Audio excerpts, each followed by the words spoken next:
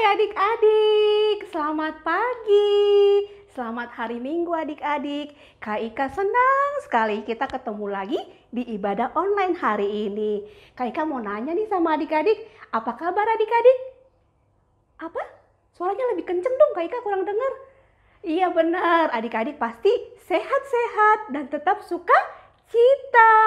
Nah adik-adik Kak Ika akan ditemani satu orang kakak guru sekolah minggu. Ada yang tahu nggak sih siapa sih nama kakak itu? Siapa, siapa, siapa, siapa? Coba lebih kencang lagi. Iya.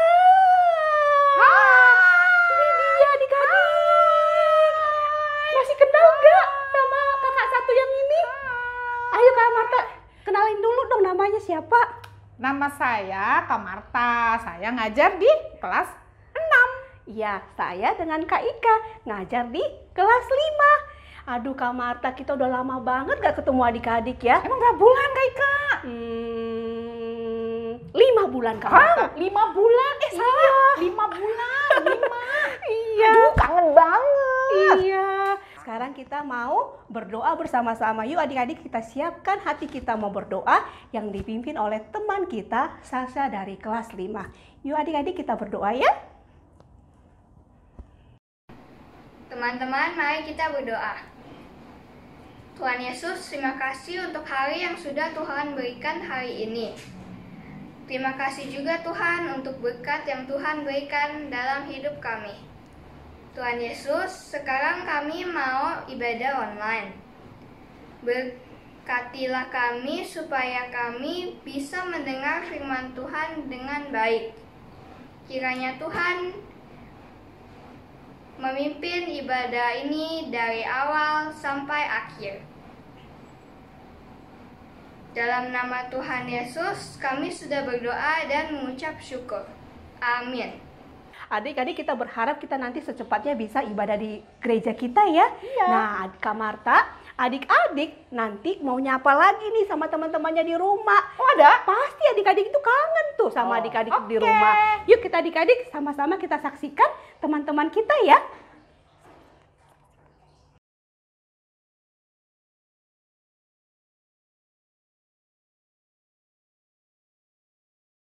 Hai teman-teman, apa kabar? Saya Dinda, kelas 3. Selamat hari Minggu, selamat beribadah online. Tetap semangat ya teman-teman, Tuhan Yesus memberkati. Hai teman-teman, apa kabar? Namaku Revo dari kelas 5. Selamat hari Minggu, selamat beribadah online. Bersuka cita selalu ya. Tuhan memberkati. Teman-teman, saya Gracia Kaspar. Semoga kita sehat-sehat selalu. Aku kangen loh sama kalian semua. Selamat beribadah hari Minggu. Selamat beribadah online. Halo teman-teman, apa kabar? Salam jumpa dengan Kenneth. Sebentar lagi ibadah online akan dimulai. Kita ikuti terus yuk. Selamat beribadah.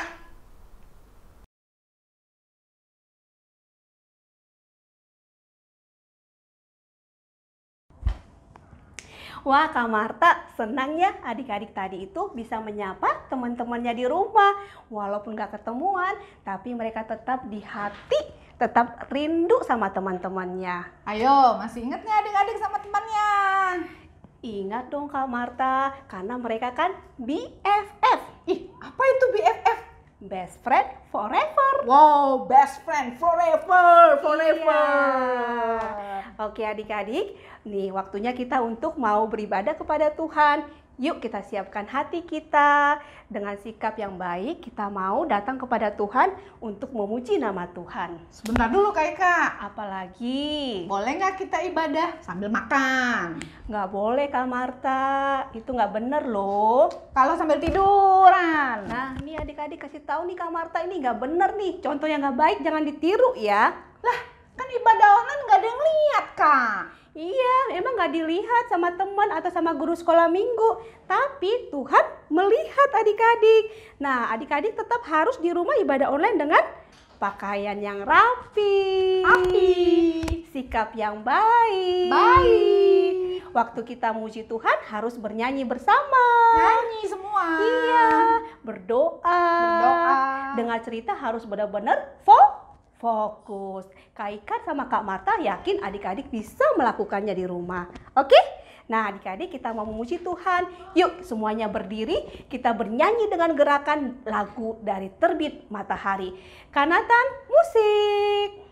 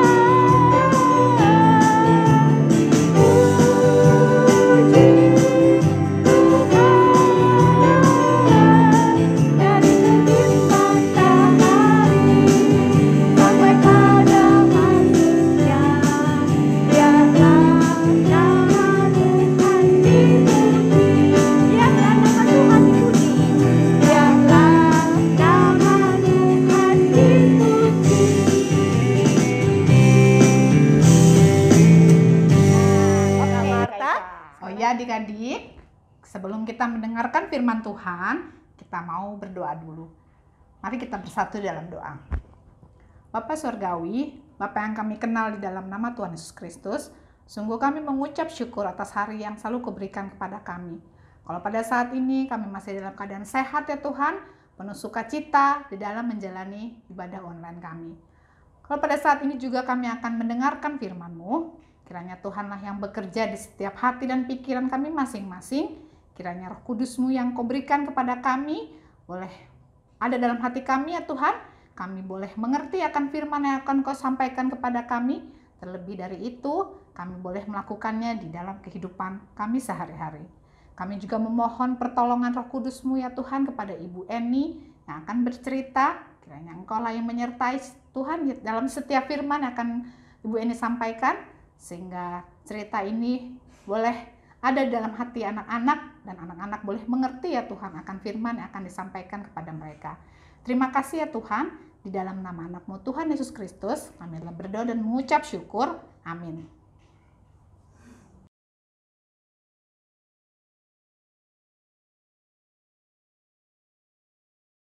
Selamat hari Minggu, adik-adik semuanya. Hari ini Bu Eni akan membawakan cerita dengan tema kejahatan anak-anak Eli. Diambil dari 1 Samuel 2 ayatnya yang ke-11 sampai 26. Bu Eni akan baca untuk kita semuanya ya. Lalu pulanglah Elkana ke Rama, tetapi anak itu menjadi pelayan Tuhan di bawah pengawasan Imam Eli. Adapun anak-anak lelaki Eli adalah orang-orang dursila. Mereka tidak mengindahkan Tuhan ataupun batas hak para imam terhadap bangsa itu. Setiap kali seseorang mempersembahkan korban sembelihan, sementara daging itu dimasak, datanglah bujang imam membawa garpu bergigi tiga di tangannya dan dicucukkannya ke dalam bejana atau ke dalam kuali atau ke dalam belanga atau ke dalam periuk. Segala yang ditarik dengan garpu itu ke atas diambil imam itu untuk dirinya sendiri. Demikianlah mereka memperlakukan semua orang Israel yang datang ke sana, ke Silo. Bahkan sebelum lemaknya dibakar, bujang imam itu datang lalu berkata kepada orang-orang yang mempersembahkan korban itu, "Berikanlah daging kepada imam untuk dipanggang, sebab ia tidak mau menerima daripadamu daging yang dimasak, hanya yang mentah saja." Apabila orang itu menjawab, "Bukankah lemak itu harus dibakar dahulu? Kemudian barulah ambil bagimu sesuka hatimu." Maka berkatalah ia kepada orang itu, sekarang juga harus kau berikan. Kalau tidak, aku akan mengambilnya dengan kekerasan. Dengan demikian, sangat besarlah dosa kedua orang muda itu di hadapan Tuhan, sebab mereka memandang rendah korban untuk Tuhan. Adapun Samuel menjadi pelayan di rumah Tuhan. Ia masih anak-anak yang tubuhnya berlilitkan baju efod dari kain lenan. Setiap tahun ibunya membuatkan dia jubah kecil dan membawa jubah itu kepadanya. Apabila ber, apabila ia bersama-sama suaminya pergi mempersembahkan korban sembelihan tahunan. Lalu Eli memberkati Elkana dan istrinya. Katanya, Tuhan kiranya memberikan keturunan kepadamu dari perempuan ini pengganti yang telah diserahkannya kepada Tuhan. Sesudah itu pulanglah mereka ke tempat kediamannya. Dan Tuhan mengindahkan Hana sehingga dia mengandung dan melahirkan tiga anak laki-laki dan dua anak perempuan lagi. Sementara itu makin besarlah Samuel yang muda itu di hadapan Tuhan. Eli telah sangat tua apabila didengarnya segala sesuatu yang dilakukan anak-anaknya terhadap semua orang Israel dan bahwa mereka itu tidur dengan perempuan-perempuan yang melayani di depan pintu kemah pertemuan. Berkatalah ia kepada mereka, "Mengapa kamu melakukan hal-hal yang begitu, sehingga ku dengar dari segenap bangsa ini tentang perbuatan-perbuatanmu yang jahat itu? Janganlah begitu, anak-anakku." Bukan kabar baik yang kudengar itu bahwa kamu menyebabkan umat Tuhan melakukan pelanggaran. Jika seseorang berdosa terhadap seorang yang lain, maka Allah yang akan mengadili. Tetapi jika seseorang berdosa terhadap Tuhan, siapakah yang menjadi perantara baginya? Tetapi tidaklah didengarkan mereka perkataan ayahnya itu, sebab Tuhan hendak mematikan mereka. Tetapi Samuel yang muda itu semakin besar dan semakin disukai, baik di hadapan Tuhan maupun di hadapan manusia. Sampai di situ bacaan Alkitab kita hari ini. Sekarang kita mau, mau menyaksikan drama tentang keluarga Imam Eli. Yuk kita saksikan.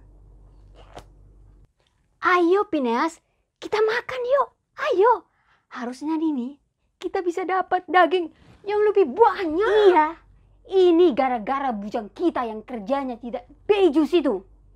Kita harus turun tangan lagi, turun tangan lagi untuk menghadapi orang-orang yang mempersembahkan daging korban sembelihan itu. Aduh, capek aku bah. Sebel kali aku sama bujang itu dan juga orang-orang yang mempersembahkan korban itu. Ayo Pinias, sambil kita makan. Jangan gara-gara masalah ini nih selera makan kita jadi hilang. Rugi kita. Iya, rugi. Harusnya bujang kita itu mencontoh cara kita mengambil daging korban sembelian itu. Bentak, bentak lagi. Dan suara semakin meninggi semakin kencang. Dan kalau perlu ini nih, badan kita seperti ini. Mata melotot, Kalau perlu itu mata seperti mau keluar. Sehingga orang-orang itu pada ketakutan semua. Gemetar.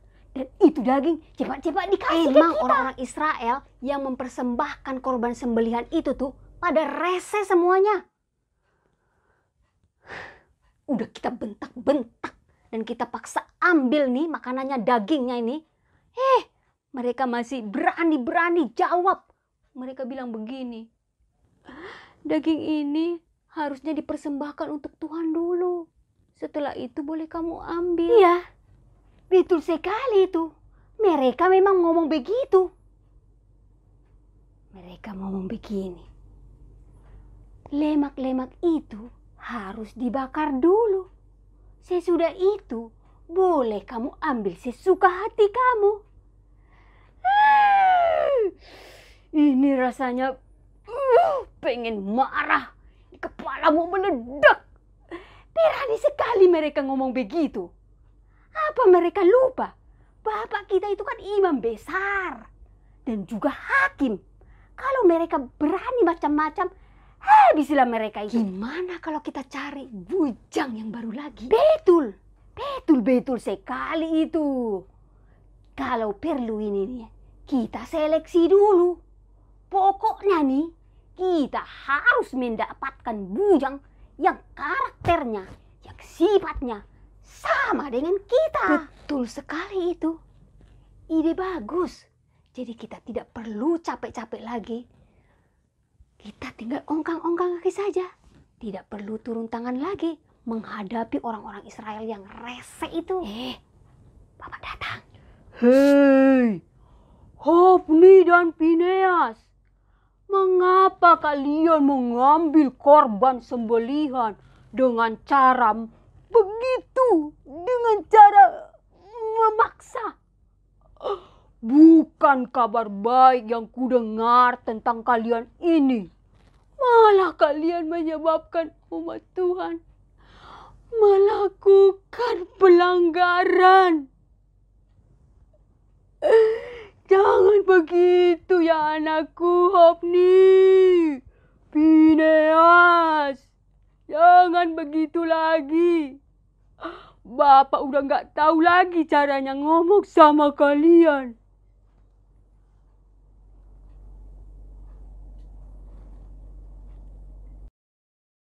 Eh, si bapak itu tuh ya nasehatin kita. Padahal sebenarnya bapak sendiri menginginkan korban sembelian ini juga. Si bapak munafik. Adik-adik semuanya, kita tadi sudah sama-sama membaca firman Tuhan dan juga melihat cuplikan drama dari keluarganya Imam Eli. Nah, apa yang bisa kita petik dari dari kejadian ini? Banyak ya. Sepertinya kita semuanya sudah bisa menyimpulkan ya, mana yang baik, mana yang tidak baik.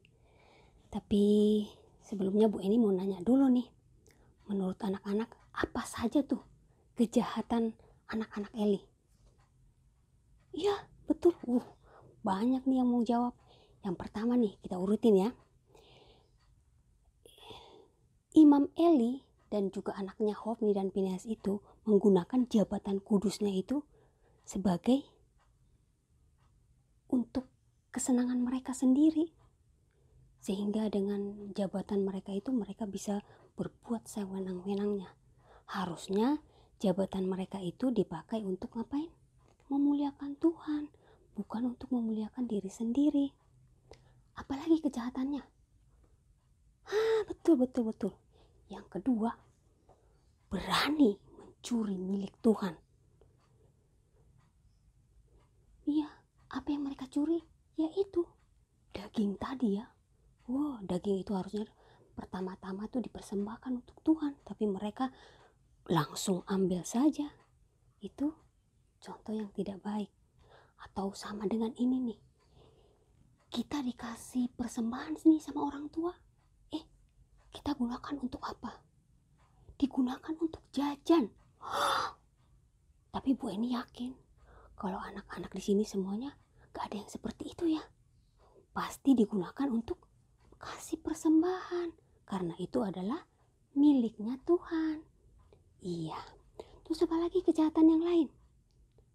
Apa lagi? Uh, banyak banget yang mau jawab. Betul-betul.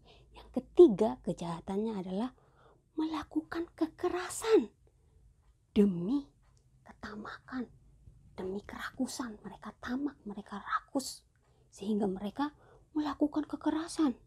Mentang-mentang mereka punya jabatan nih ya, mereka mempergunakannya untuk ketamakan mereka. Sangat tidak baik, tidak perlu dicontoh. Terus apa lagi?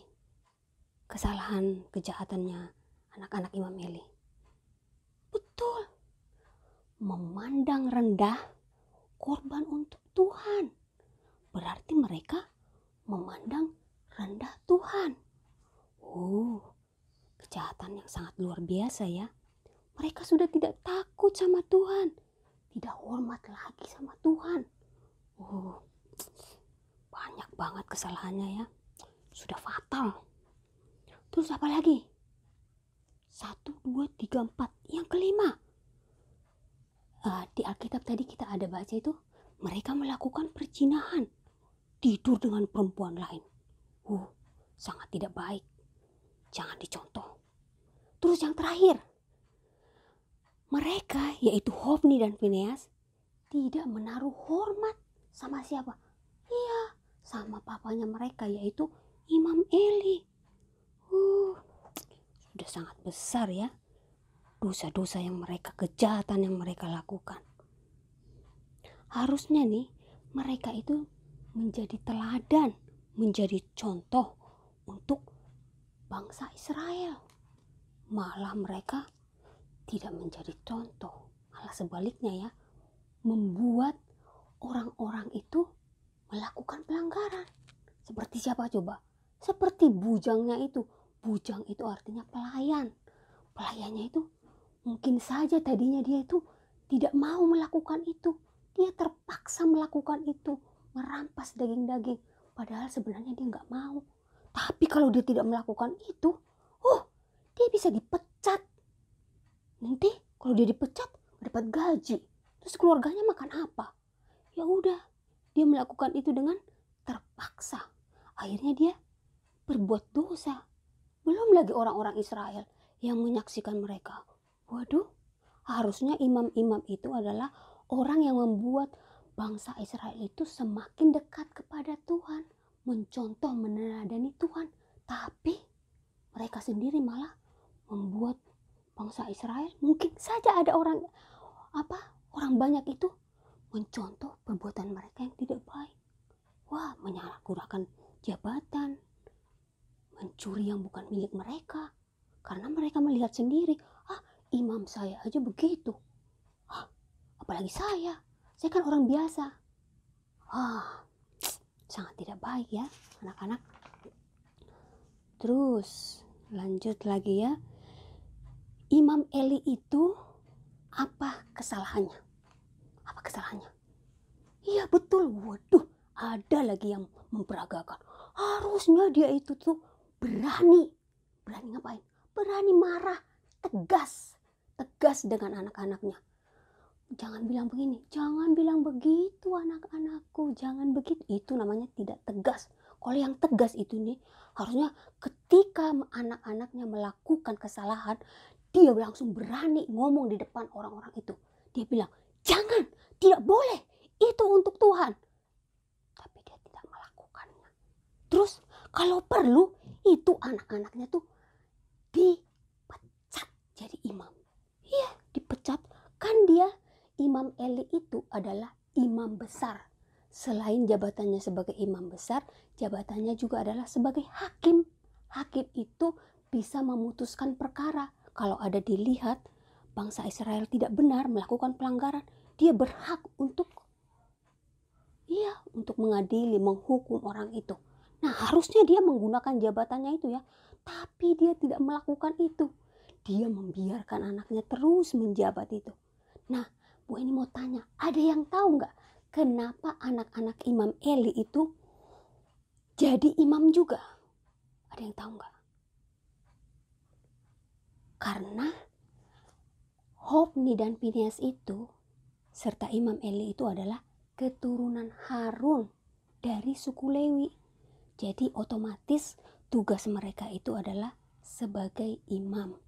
Tuhan sudah memilih mereka untuk uh, tugas khusus gitu dalam tugas mereka itu adalah untuk melayani Tuhan sebagai imam. Nah, itu makanya Imam Eli itu dia menjadi imam besar, otomatis anak-anaknya itu menjadi imam-imam pembantu. Tapi ketika anaknya berbuat jahat, dia tidak berani. Berarti itu artinya apa? Dia lebih menyayangi anaknya daripada Tuhan. Artinya Tuhan itu di nomor dua kan. Jangan ya, kita harus menomor satukan Tuhan di dalam hidup kita.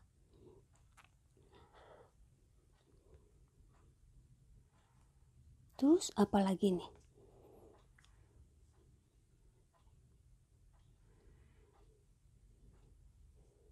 Terus Ibu Eni mau nanya nih, kesimpulan apa yang kita dapatkan dari dari cerita ini? Oh ya Bu Eni lupa. Ada satu cerita lagi, ada di situ namanya tokohnya juga Samuel. Samuel itu adalah anak dari Hana dan Elkana. Hana itu tadinya susah punya anak, tapi dia bernazar, dia berjanji kepada Tuhan, kalau Tuhan memberi saya anak, anak ini akan saya persembahkan buat Tuhan. Apa yang terjadi? Tuhan membuat dia mengandung, memiliki anak. Jadi anak anaknya itu anak yang pertama itu dipersembahkan untuk Tuhan yaitu siapa namanya? Iya, Samuel. Namanya adalah Samuel. Samuel itu sudah tinggal dengan Imam Eli dan juga Hofni serta Pineas sejak dia kecil. Jadi dia jauh dari orang tuanya. Tapi kenapa ya si Samuel itu tidak mencontoh tidak terpengaruh dengan Hofni dan Phineas. Harusnya kalau dia tinggal serumah nih ya, harusnya ikut dong kelakuan mereka. Tapi apa yang terjadi dengan Samuel? Oh, Samuel tidak melakukan itu. Samuel itu adalah anak yang sangat disayang Tuhan. Disayang banyak orang. Disayang oleh bangsa Israel. Wah, hebat ya. Lah, kenapa sih Samuel bisa bisa menjadi seperti itu, tidak terpengaruh, tidak ikut-ikutan menjadi punya kelakuan yang tidak baik. Walaupun di sekelilingnya itu kelakuannya tidak baik, tapi dia tetap karena dia apa? Betul, orang tuanya itu menjadi figur teladan buat hidupnya. Itu menggambarkan bahwa orang tuanya si Samuel itu punya kedekatan yang baik, yang sangat baik dengan Tuhan, sehingga mereka bisa menjadi teladan buat anak-anak mereka. Pasti mereka itu sering menasehati Samuel. Samuel, walaupun kamu tinggal di sini melihat gini gini gini, jangan lakukan. Kamu lakukan apa yang Tuhan mau. Ah, pasti Samuel mendengarkan. Mendengarkan. Kenapa dia mendengarkan? Karena dia melihat hidup orang tuanya seperti apa. Mereka adalah orang-orang yang taat kepada Tuhan. Dari mana kita tahu taat? yaitu setiap tahunnya itu mereka selalu setia mempersembahkan korban sembelihan kepada Tuhan. Setia, artinya tidak pernah absen dia melakukan itu. Terus apa lagi? Dia sayang sama Samuel.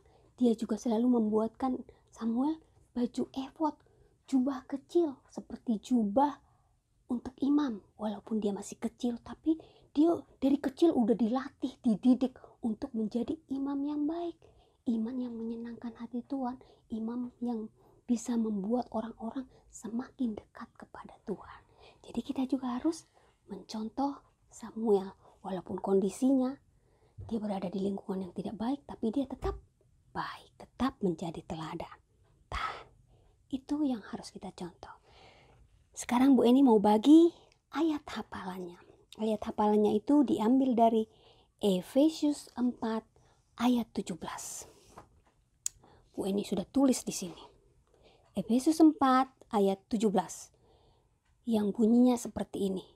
Jangan hidup lagi seperti orang-orang yang tidak mengenal Allah dengan pikirannya yang sia-sia. Iya.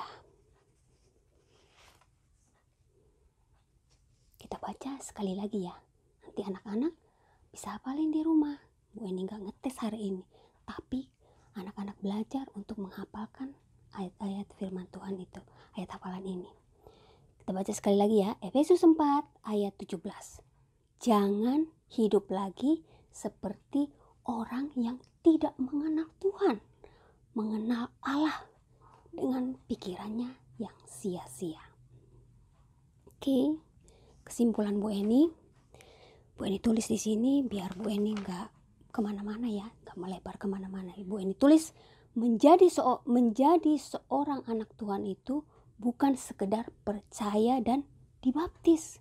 Menjadi anak Tuhan itu mestinya mengalami perubahan hidup. Mengikut Kristus tidak boleh lagi hidup seperti orang yang tidak mengenal Allah. Mereka senang hidup dalam dosa dan egois, hanya mementingkan diri sendiri. Menjadi pengikut Kristus, kita harus menjadi teladan di mana pun kita berada. Teladan dalam bersikap dan juga teladan dalam berkata-kata. Menjadi pengikut Kristus mestinya menjadi anak Tuhan maksudnya ya, mestinya kita setia beribadah kepada Tuhan. Kita rajin baca Alkitab, berdoa dan kita juga hati kita penuh dengan belas kasihan. Ketika seorang anak Tuhan bisa menunjukkan kualitas hidupnya, bisa menjadi teladan, maka orang-orang pun akan mencontohnya. Nih, ketika Bu Eni juga pengen bagikan cerita ini, Bu Eni itu, ya, Bu Eni juga ditegur Tuhan. Sudah menjadi teladan belum dalam hidupmu? Gitu. Jadi ada pertanyaan terakhir dan tidak perlu dijawab. Jawab dalam hati masing-masing saja. Apakah kita sudah menjadi teladan bagi sesama? Bagi orang tua kita? Bagi keluarga kita? Bagi koko? Bagi dede? Bagi sanak saudara? Ah, kita yang tahu ya. Iya. Oke. Cerita kita selesai sampai di sini. Kita tutup dalam doa. Kita berdoa ya. Tuhan Yesus terima kasih untuk hari ini Tuhan mengingatkan kami bagaimana kami harus hidup. Kami harus meneladani Tuhan dan mencontoh Tuhan karena kami adalah anak-anak Tuhan. Tolong kami Tuhan, sertai kami terus, berikan kami kekuatan dan jangan biarkan kami ragu bahwa Tuhan akan memampukan kami untuk melakukan firman-Mu. Terima kasih. Dalam namamu kami berdoa dan mengucap syukur. Amin.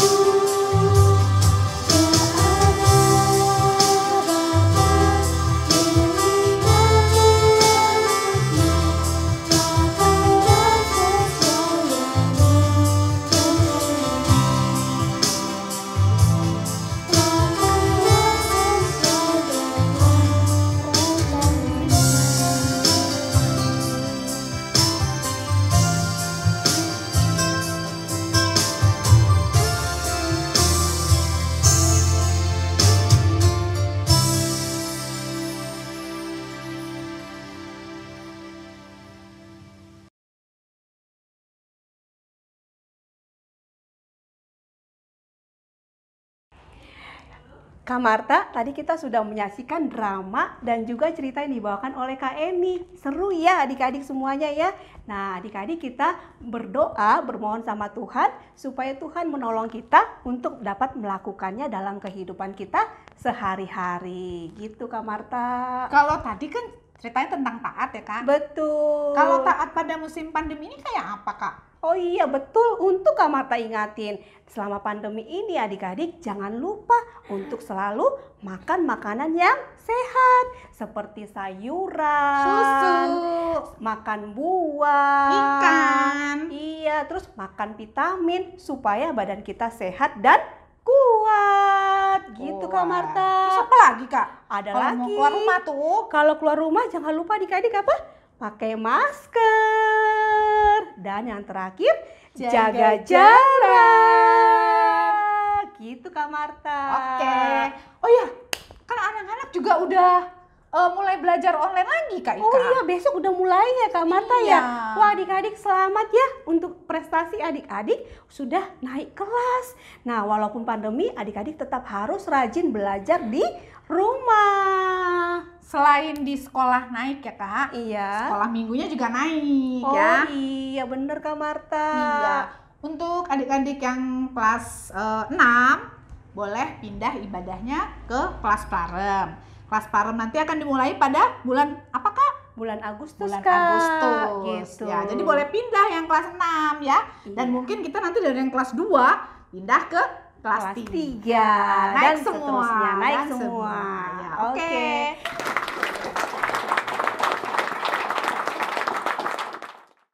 Kak Marta, kita akan mengakhiri ibadah online kita. Sebelumnya, yuk adik-adik kita bernyanyi siapa yang berpegang.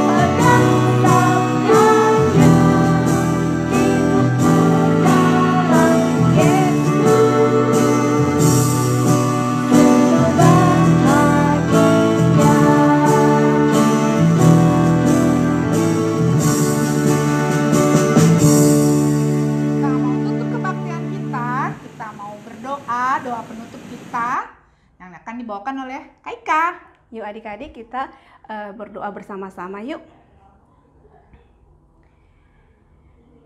Bapa kami yang baik, kami sungguh bersyukur Tuhan jikalau kami sudah mengikuti ibadah online dari awal sampai akhir. Tuhanlah kiranya mengingatkan kami, menolong kami untuk dapat melakukannya dalam kehidupan kami. Tuhan, secara khusus kami mau menaikkan doa-doa kami kepada Tuhan. Kami mau berdoa Tuhan Yesus untuk khusus adik-adik kami di masa ma- pandemi ini supaya kiranya Tuhan memberikan kesehatan, Tuhan yang menjagai mereka dan memberikan dan menambahkan terus sukacita dalam masa pandemi ini. Ajari mereka Tuhan, tolong mereka untuk mereka terus rajin belajar sehingga mereka menyenangkan hati Tuhan dan juga orang tuanya. Bapak, kami juga berdoa untuk saudara-saudara kami yang mengalami sakit penyakit saat ini, mungkin karena corona ataupun sakit yang lain. Mari Tuhan yang menolong mereka, memberikan kesembuhan, memberikan pengharapan supaya mereka tetap percaya bahwa Tuhan uh, menolong mereka dalam menjalani masa-masa uh, perawatan sakit mereka saat ini. Bapak yang baik, saat ini kami juga mau berdoa untuk gereja kami. Kami mau berdoa untuk Ibu Elizabeth dan juga keluarga Pak Naya dan keluarga, serta Kak Gloria dan keluarga.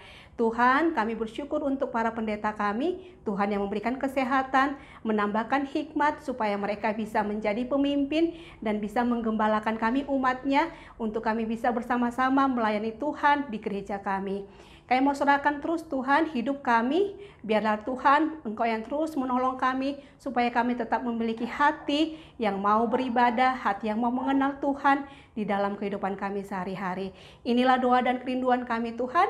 Kami alaskan doa kami dalam nama Tuhan Yesus Kristus. Kami berdoa dan mengucap syukur. Bapa, terima kasih.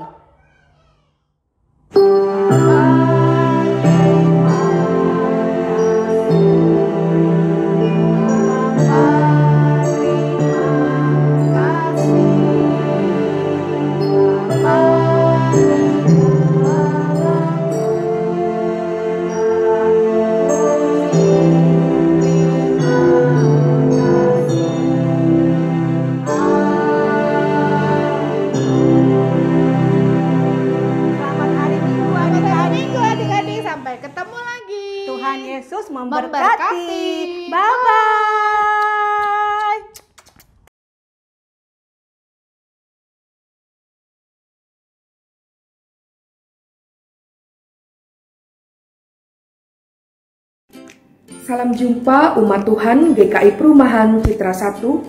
Saat ini kita telah memasuki era kenormalan baru atau yang akrab disebut dengan new normal.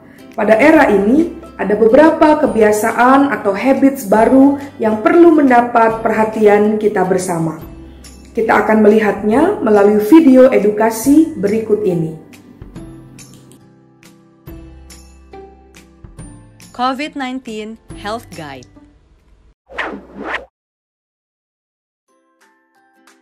Apa yang harus kita lakukan? Pertama, ketika hendak keluar rumah, berdoalah kepada Tuhan terlebih dahulu. Gunakan pakaian berlengan panjang. Bawalah perlengkapan pribadi seperti hand sanitizer, tisu basah dan kering, masker cadangan, botol minum, serta alat makan pribadi. Jangan lupa gunakan masker.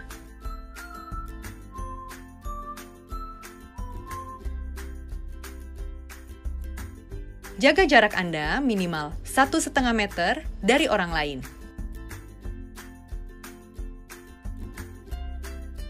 Jika batuk dan bersin, tutup bagian mulut dan hidung Anda dengan siku Sebisa mungkin, lakukanlah transaksi secara non-tunai.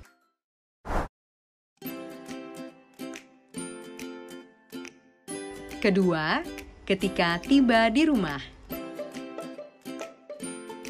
bukalah alas kaki Anda sebelum masuk ke rumah. Semprotkan desinfektan pada alas kaki, pakaian, dan perangkat kerja Anda. Buang semua tanda terima.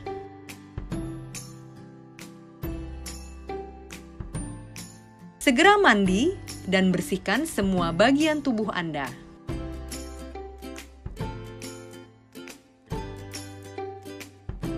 Buka pakaian yang Anda kenakan dan langsung rendam dalam air dan deterjen. Kenakan pakaian yang bersih dan siap pakai. ucaplah syukur dalam doa kepada Tuhan. Setelah semuanya diikuti dengan benar, barulah kita dapat menyapa keluarga kita. Ketiga, naik transportasi umum atau online.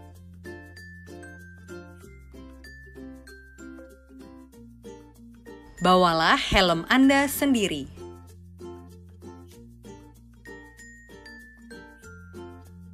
Usahakan menaiki kendaraan umum yang tidak penuh penumpang.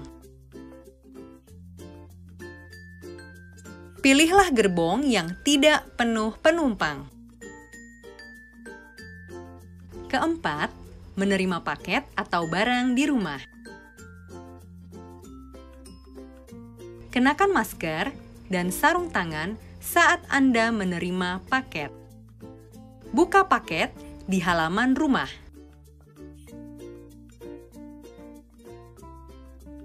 Bersihkan barang dengan alkohol atau sabun. Buka bungkus makanan dan taruh isinya di wadah baru yang bersih. Itulah edukasi protap kita untuk sehari-hari. Kiranya dapat membantu kita semua untuk memasuki era new normal. Satu hal yang pasti, semua ini akan berjalan dengan sangat baik jika kita disiplin untuk mentaatinya. Kiranya Tuhan Yesus memberkati kita semua.